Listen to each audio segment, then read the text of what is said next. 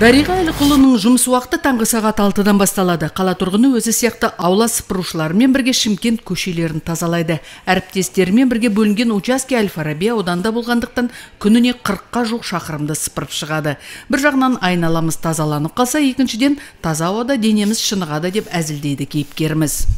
Жан жаққа бригадаларымыз тарайды сағат сегізде жұмысын бастайды. Сол қыздар ауланы сыпырады мына балалар ойнайтын алаңды сыпырады осы ауданның бүкіл осы әл фараби ауданының тазалығы осы қыздардың мойнында. Дариғаның төрт баласы бар. Кейбір жандар оған бұл кәсіпті таста дейді. Алайда әйел бұл менің таңдауым дегенді алға тартты. Жайдан жай үйде отырғанша сүйікті қалама пайдамды келтіргім келеді. Жұмысым да өзіме ұнайды дейді ол.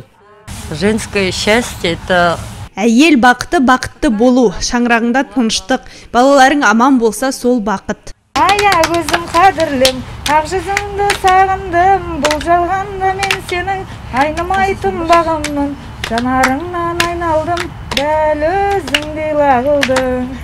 Әйелдер ұжымында көңіл күй үнемі көтеріңкі. Түскі үзілісте қуаттанып алған олардың бірі үміт мейірім және махаббат жайлы ән салады. Олар барлығы жақсы болатынына сенеді және әрбірі сүйікті және қымбат жан болғанын қалайды. Мужчины? Ну обязательно. Как же без мужчин? Ер кісілерсіз болмайды әрине. Ауыр жұмысты солар жасайды.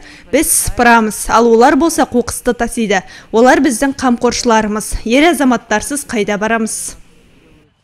Бұл бригадада жалғыз еркек бар сондықтан да ұжымды оны сұлтан деп атайды. Әрине әйелдердің көңілінен шығу оңай емес. Олар тым талапшыл.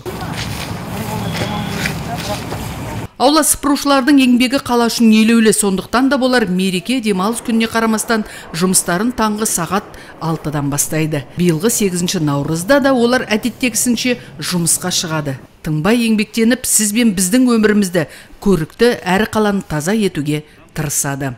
Шынар оразова абзал тұрабеков отырар телеарнасының жаңалықтар қызметі.